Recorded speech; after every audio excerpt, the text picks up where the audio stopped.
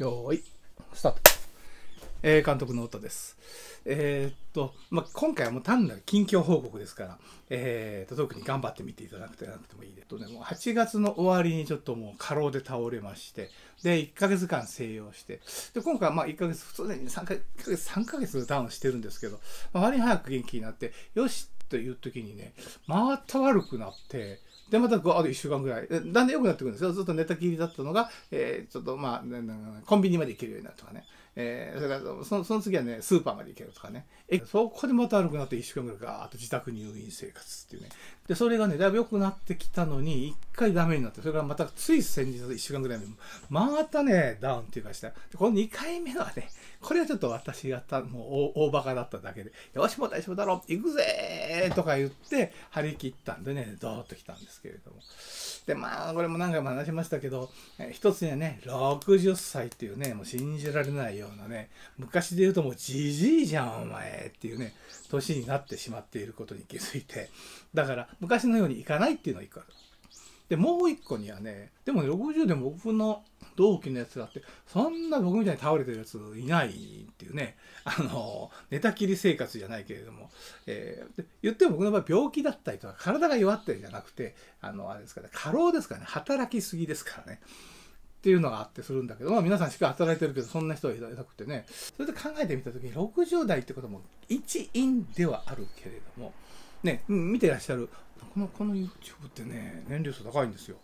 もうだって一時期はね、えー、出るんですよ。なんかアナリスティックとかで言うと、何歳以上の人が、70%が65歳以上っていうね。いや、俺よりも高齢じゃんっていうね。で、そういう人たちがね、皆さん見てくれていて、70%ですよ。もう、お達者クラブか明るいの予想みたいなもんじゃないですか。って見てくれてね、でも、そんな人たちが YouTube ややってるとか見るのかなと思って。でおまけにあれでしょあのなんかめちゃめちゃ早口でもうウーマン村本に迫ろうと思ってわーっと喋ってますよ。でやっぱお年寄りとかって言ったらやっぱり NHK のねゆっくりとしたもっと早しゃべるねって言いたくなるようなアナウンサーの、えー、本日未明新宿区にある病院でとかってね喋ってるねもう早くしゃべっていう。のみで、だからたまに来ますよ。もう少しわあのゆっくりと喋ってくださいとか、えー、わかりやすく喋ってください。いや、いやだったらね、NHK 見て NHK 見てっていう。あね、やっぱり政治や社会や戦争や、えー、沖縄問題に関心あるのはやっぱり年齢層高いっていうのはあるんですけれども、でもそれがね、えー、とその令和新選組応援 した、まあ、今回毎、毎回、令和以前から応援してるんですけどね、太郎さんの動画撮ってずっと配信して、ね、あの、あのこれ朝日の当たり以来のお付き合いなのでね、山本太郎さんはちょっと頑張ってもらいたいので、で、毎回選手権出るたびに応援してるし、選挙ない時でもいろいろなんか応援、動画とか撮ってますけれども、あの、そのでね、ドワーッとこう、えー、4000人 ?4000 人ぐらいに登録者が増えて、スタートしたら600人でしたからね、えー、4000人増えて、したんで、で、それで多分若い人たちもたくさん見てくれるようになって、で今はねあのその65歳以上はもうね30とか、まあ、それでも一番多いんですけどね。でもねこう20代ぐらいみたいな10代さすがにね。20代ぐらいの人たちも見てくれてるっていうのがあったりするんですけれども。まあねあの何の話してんだっていうねあの、えー、話を戻しまして。で結局あの60代になったからってことだけではなく、えー、別の原因もある。体調不良になった原因ですよ、えー、去年去年っていうか今年今年の夏公開された乙女たちのあの映画監督っていう仕事やってまして、で本当は劇映画。ここちょっと見て劇映画。あだって朝日の当たり映画まさに山本太郎さんって俳優さん俳優時代に出てもらってますからね。劇映画をえー、撮る監督だったんですけど、ちょっとここしばらくドキュメンタリーの仕事をしてまして、えー、これは白梅学徒、沖縄戦の、えー、本当17歳前後の女の子たちが、えー、戦場にあるあの病院校に送り込まれて、えー、兵隊さんのあの治療に当たるっていう。で、その、まだご健在なんでお話ししてもらえる2人だけいらっしゃるんで、その方にインタビューし、再現ドラマを加えた映画なんですけど、これが公開されまして、本当大変なのが、期間としてはね、えー、去年の12月からで、12 9ヶ月間なんです、公開まで。だけれどもね、やっぱもう本当不可能実行試練。この話は何回もしてますけどね、もう制作費安い、あのもう締め切りがもう早い。で、おまけに、えー、スタッフ、スタッフなんてね、3人ですからねドキュメンタリー班はドラマ班は結構お金かかってるんですけど、まあ、結構って言ってもまあまあまあそこそこかかってますけどっていうねあの すごい大変な状況ででほとんどの人が沖縄戦のこと知らないっていうねでだから宣伝も僕がしなきゃいけないね聞かれてねその関係者があの沖縄戦のあのあのあの戦闘についてどう思いますかって言われた時に「ええ何ですかそれ?」とかって言ったら「いやこんな映画見る価値ないじゃん」って言われちゃうからで僕はその以前のドキュメンタリー沖縄戦っていう映画元だところ2本目なので。まあ、そこそこ勉強してるんで。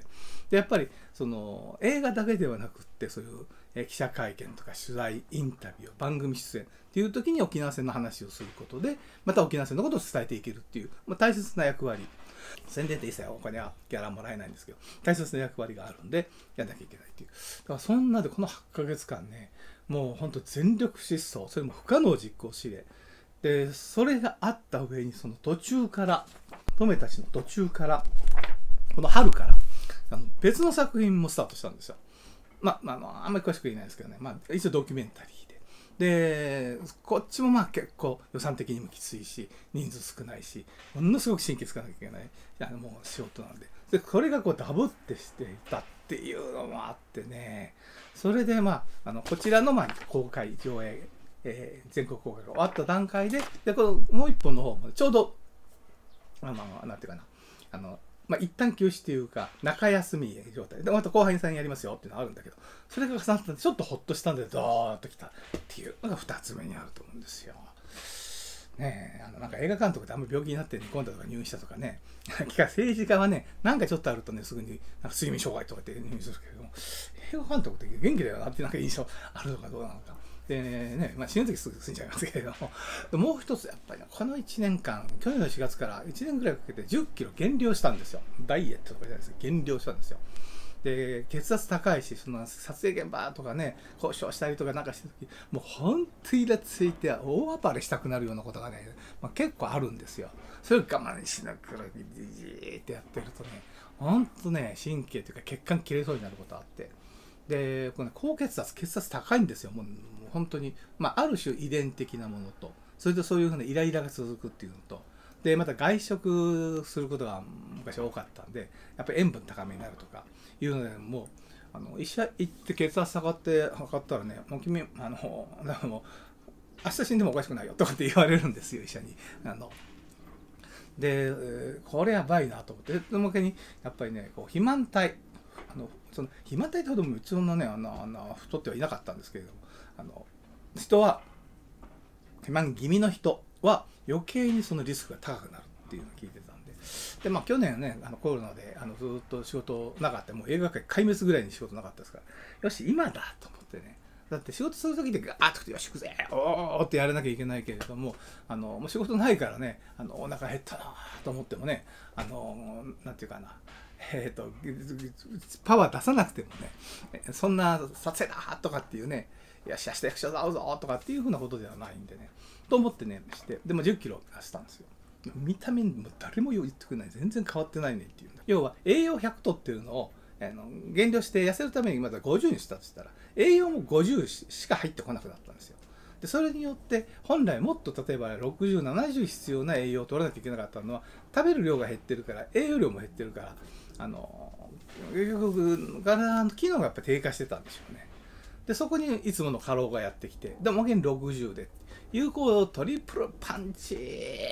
ていうもうあのあれですよあのジョジョの、えー、奇妙な冒険でいうとあのなんていうかな。あのだいぶのあの後輩の帽子かぶったいかにも少年ジャンプの主人公みたいなあいつのこうあれなんなんていうかいるようにね。オレオレオレオレって殴るような、まあ、あのぐらい殴られたような感じで。なんて言ったんだっけあれ、うんですけど。あもうこんな時間になっちゃった。で、えー、なんでそんな報告してるかっていうとだからそういうことがあってずっとね今度でとても喋る状態でなかったんででここしばらく、えー、再放送とえー、で新しいのもありましたけどあれ実はねもう何ヶ月も前に撮ったのがいざという時のストックだったんですよ。だからよく見るとね髪型が違ったりね後ろの背景が違ったりするんでねあのー、あ監督倒れてるのにこんな長い35分の動画撮ってとか言うけどいやそれもだいぶ前に撮ったやつなんでね元気な頃なんですけども。っていうのがあってであとさっき言ったようにねあの動画がいきなりされてで次やったら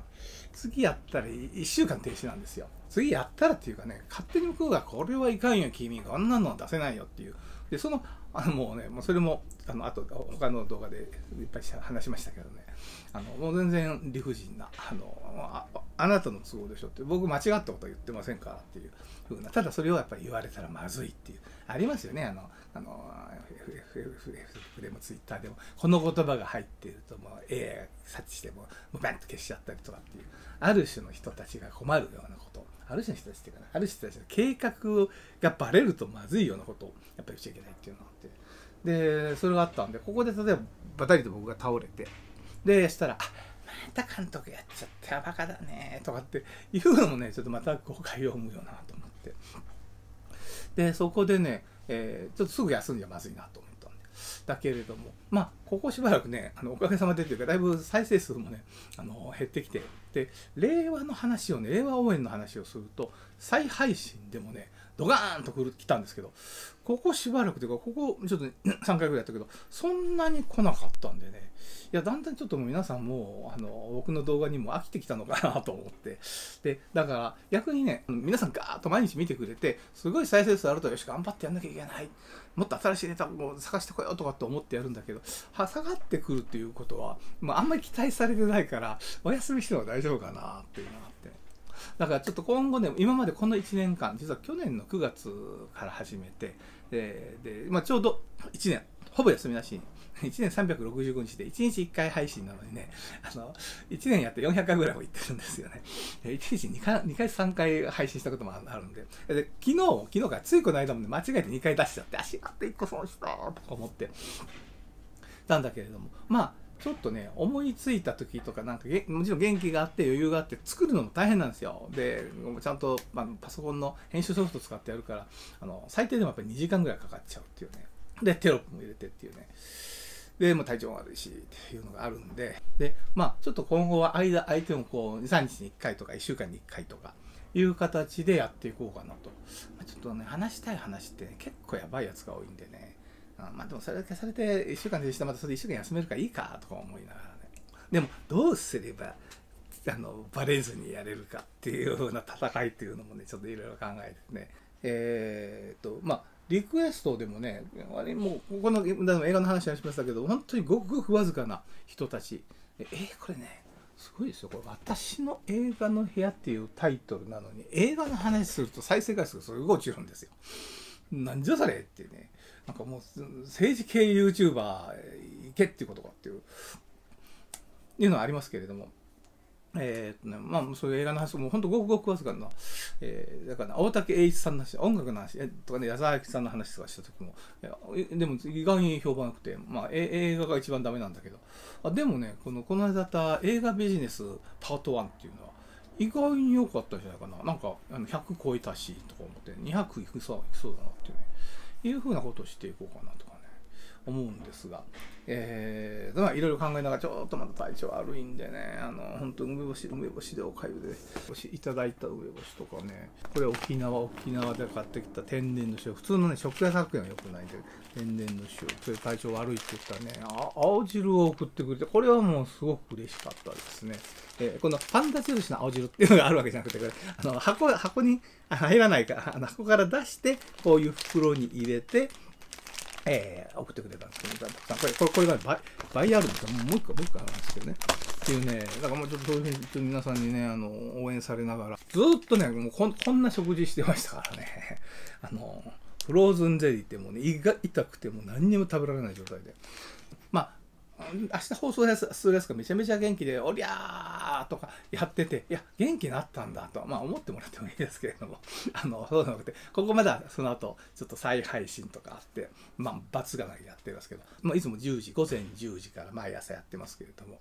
あのやらなくなったとしても、えー、ちょっとね、しばらくは、えーと、間空けながらやっていくしいいネタがあれば続けてるしだからもう毎日やるのちょっと1年やったからちょっとしばらくお休みでもいいかなと思ってね、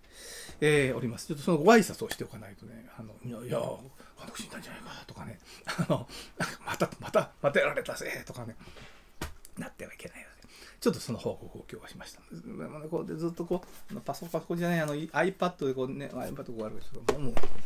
で、こう、寝込んでずっともうね、テレビ見る元気もなかったから見てたらね、まためっちゃ腹立つようなコメント来て、腹立つようなこと言ってるやついるんですよ。で、いや、こいつ分かってない、これちょっと一回ね、YouTube で話しようとか思って、言うのでね、あの、怒りは結構元気、元気になってますね。この許せないとか思ってそういうのはね、いろいろ話していきます。よろしく